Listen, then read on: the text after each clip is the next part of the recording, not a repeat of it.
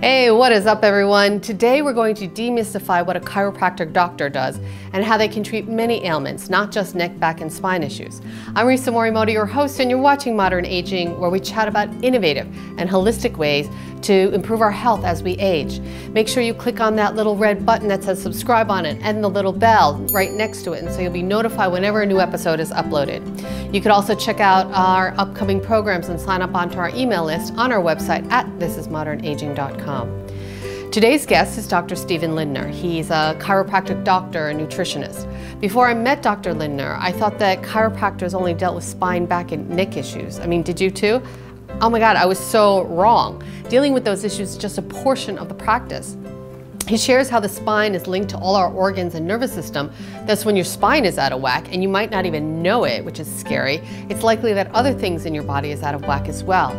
Chiropractic medicine is a whole body structure and function approach to wellness.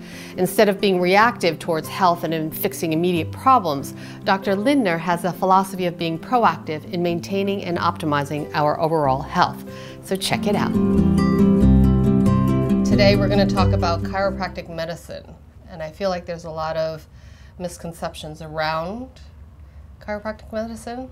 So if you could first define chiropractic medicine. Sure. I think the way you opened up this conversation is actually perfect because the, the words that you used were chiropractic medicine, which I think is part of the, one of the misconceptions people have. So, chiropractic and medicine are two very separate and distinct professions. So, medicine is using medicine, pharmaceuticals, a lot of um, chemical drugs to try and balance out the individual, to try and perhaps suppress their symptoms to help them make them feel better. Mm-hmm. And chiropractic is a drugless profession. So some say it's the alternative to medicine, but it's just very separate and distinct, two very different things. I think both doctors of chiropractic and medical doctors have great intention to essentially help the individual feel better and function better and become healthier. We just do it by two very different approaches. The chiropractic approach looks at human structure and function based on a neurological principle. Mm-hmm. Structure and function are very closely intertwined. The better the structure, the better a person functions. Primarily, the structure of your spinal column. So, proper structure, of course, is straight. Straight, but if we say straight, you'll notice the spine does have curves to it but for good reason, right? Curves, if you look at this, it's like energy. Energy moves in arcs. So if we were to take the spinal column and lie the person down, you would see arcs, right? So for, and it also acts as shock absorbers. So this structure, the spinal column, is made up of 24 freely movable bones, but it protects the nervous system. It protects the spinal cord, and it protects the skull, protects the brain. So within the spinal column, those 24 freely movable bones, you can see it protects the spinal cord. You see that right there? Right. And the nerves? Right. In an ideal alignment, the brain sends messages down the spinal column, down the cord. It exits the hole between the two bones where the nerve is, and the nerve can feed all of the organs and all the parts. But when there's too much stress that bombards the system, whether it's physical stress or emotional stress or chemical stress and even thermal stress, it's enough to blow the fuse, like a fuse box in someone's home. Mm-hmm. And when that fuse gets blown and the circuit shifts, the vertebra misaligns. So it literally will shift. It shifts, it misaligns. That's what chiropractors refer to as a vertebral subluxation. It shifts because there's lots of muscles attaching here. How and painful is it? Usually, and that's a really good question. So subluxations can exist without any pain whatsoever. Wow. Asymptomatic. But we've seen that happen because you have people who have scoliosis and curves, right? We see their structure a little bit distorted, but they're not walking around in pain. Right. Right. So sometimes you can have well, some sub- are, but not all. Right. Not all. Not all are suffering in pain. So these nerves that come out, these spinal nerves, part of the nerves control sensory, like what you feel, and the other part of the nerve controls motor. Motor meaning the motor messages that make the heart beat or the motor messages that makes the lungs breathe, or the motor messages that create digestive enzymes to make the stomach work. So subluxation can exist without pain, but perhaps a degree of malfunction within the body. If it's going to a muscle, maybe the muscle is weaker. If it's going to a certain organ, that organ may not be functioning up to its optimal potential. So the chiropractor is interested in detecting any blockage or interference between the brain and the organ cells and tissues of the body. And this is the highway of communication, is the spinal column. So every bit of information, whether it's information you're hearing or information that you're seeing, all that data, all that input comes in, goes up the spinal cord to the brain for processing, like a computer. And then it processes that information, then says, okay, I'm interpreting what's coming in. Now we have to send a message going out. This person is now running. So maybe we need to send messages to make the heart beat faster or messages to the lungs to make that beat, uh, breathe quicker. Now we need to send more messages to the muscles of the legs to make them run faster. So it's this communication that's always incoming information and outgoing information. And when it happens unblocked or uninterfered with, that's an individual that can be in the state of homeostasis, the state of balance, where maybe you just ate a meal and your blood sugar goes up, but in healthy individuals, it'll find a way to bring it back down. Right. Blood pressure may go up when you're running upstairs, but then it's got to come back down. So the chiropractor is interested in finding out where those irritations are or those subluxations, finding the interference, making a gentle adjustment to remove it, and then let the body heal itself. So how do you how do you know if there is a subluxation? You can actually feel it?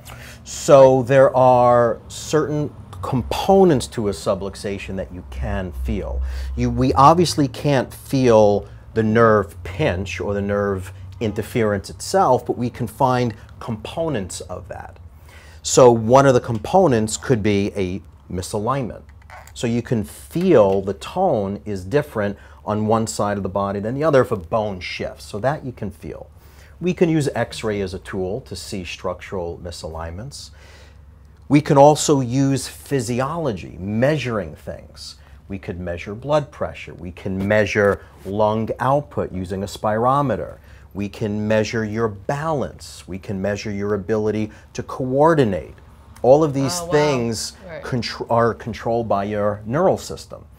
If someone, for example, uh, fell and hurt their hip or hurt their shoulder, let's say there was something physical that happened. Now that individual is walking, but this shoulder is not moving properly. So when they walk, you may see the left shoulder moving well, but the right one is not swinging very well. Right. That actually happened to me. Yeah. It happened, right? Yeah. So your body wants the symmetry of, of movement from one side to the other because every time your arm swings, that information is actually going into your brain saying, okay, I'm walking or I'm running, and how do I coordinate my steps with my hand movement? But let's say the shoulder, like you said, your right shoulder was hurt or your left shoulder. Let's say It your was- right it was shoulder my was right shoulder. the right one was hurt. So structurally something wrong from a physical trauma, physical stress. But there's a lot of receptors, neurological receptors. They're receiving information there about the type of movement. Now, maybe it's distorted because it's not moving properly now. That distorted information goes up to your brain. Right. And it goes up to your brain, it goes up to your cerebellum on your right side, but your cerebrum on your left. All of that information comes in. And your body is saying, this is distorted. Now, when the input is you to distorted, compensate, right? you try, but you shouldn't have to think about human movement. It should happen automatically. Right. But if the information comes in distorted, what happens to the output? It's got to be distorted. It has to equal the input, right? Every action, there's an equal and opposite reaction. So if it's coming in good, it goes out good. If the information comes in distorted, because the structure is distorted, the output is distorted. So now that creates a bombardment of misinformation. What's the impact of that on the human body? And what can we do as chiropractors to help that? Let's restore better structure so it functions better. That's the goal. So if you have, say, chronic, I don't know, high blood pressure, or you're having lung issues or stomach issues or whatever, you know, people's first instinct is not to go to a chiropractor. Correct. Right? But do you feel like that that should be added or that they should go to a chiropractor in terms of you know trying I to think it's collaborative. I think that the effort should be there should be a healthcare team. right right? So I have a dentist and I have an eye doctor and I have a primary healthcare provider. I have a chiropractor myself. I have a massage therapist, an acupuncturist. I have a podiatrist and a dermatologist, right? I mean, I have a whole healthcare team. Right. Because having that team is, those are all the teammates. I mean, that's part of your health success. That's part of my health plan. I have a cardiologist. I have a specialist for everyone. So I think it's great for the medical provider, the allopathic model, and the chiropractic model to work together in the patient's best interest. And you're getting the best of both worlds. So here you are seeing a doctor of chiropractic with the primary interest of, hey, can you help me ensure that my structure is as perfect as can be? Because I want my neurological function to be as perfect as it can be. And with that, the chances of you getting sick are just going to be a little bit less. It's not saying you'll never ever get sick, but the chances of you needing crisis care intervention and medical intervention and surgical intervention are far less. Not that you'll never need it, but the chances are less. If we work together with medical professionals and chiropractic professionals together, you get the best of both worlds. You have someone on the proactive side and someone on the reactive side to help. That's that's a great team right there. So see a gastrointestinal specialist, see a cardiovascular specialist, and we can work together. If someone is seeing a cardiologist that's taking high blood pressure medication, they come to me, I need to know what medications they're on. Right. My job is to determine the safety of delivering an adjustment to that individual. Can I adjust them a particular way, or do I have to come up with another way of making that adjustment to the individual? Each adjustment is specific for each individual based on their structure and based on their needs. The way I'm going to adjust a senior citizen may be different than how I'm adjusting geriatrics and pediatrics are two different techniques. right so actually which leads me to so when as we get older right Yeah. um, are there certain things that we should kind of be look are there things that we should look out for? Are there things that we should know about to just to be conscious of to know whether or not we may need an adjustment? For example i've never had an adjustment. Personally because it scares me. I think the fear of it is like even though now talking to you i've just kind of like eased my sense of what an adjustment can actually do um, and how it could p- potentially benefit other areas that I might now, you know, I have thyroid issues, I have heart blood pressure, you know, high blood pressure issues, but I never equated them. I never thought that they were, uh, that one could help the other. One was a link, right? Yeah. Most people ca- think of chiropractic and they do the chiropractic macarena. They do this, the neck pain and you know the back pain. You know, I'm a chiropractor. Oh, I've got this neck pain. I got you can help me. Um, yes, chiropractic works on the reactive side to help people with pain and suffering, but ideally it would be on the proactive side, ensuring that you're in the most, the best ideal structure so you function better. So the fact that you are seeing these healthcare professionals, right, and you're seeing a cardiologist and, and they may have you on a blood pressure medication, I think now seeing a doctor of chiropractic on top of that, perhaps you'll see it, you may see a change in that function. And I would want to collaborate with your doctor. There are certain medications also that you that people take that pull out nutrients. So as a holistic practitioner, also a nutritionist, I look at those drugs and go, are these depleting certain vital nutrients from the individual that could perhaps be creating a domino effect of other issues? And can we mm-hmm. offset them and be proactive there? So I communicate that to the doctor as well. See, um, that's see that I feel like there's a, a big gap oftentimes, right? Yeah, that doctors aren't talking to each other, and then we as patients are also not trained to have each of the doctors communicate with one another until there's like a crisis. I feel like we're just so prone to crises and not. Yeah, that, that's a really good point. I had a patient that I saw the other day that I said, Can I have your cardiologist number? And she said, Sure. She gave me the number, and I said, I'd like to update your cardiologist on my suggestions, which was not taking the patient off any medication, but I analyzed the drugs that they were taking and saw some vital nutrients that were being lost. And he was so happy. The Right. doctor was so grateful. Thank you for taking the time. And the patient was so impressed because never did has another doctor said, "Can I have their number? I'd like to communicate." But th- I think that's responsible healthcare. Right. It's your healthcare, and you want. I'm always in gathering information. Can I have your last MRI? Can I have your last blood work? Can I see who it is, the inner workings of the person I'm with? And now I have all the paperwork on all that stuff, plus meeting the individual, getting all that data tells gives me a much more complete picture.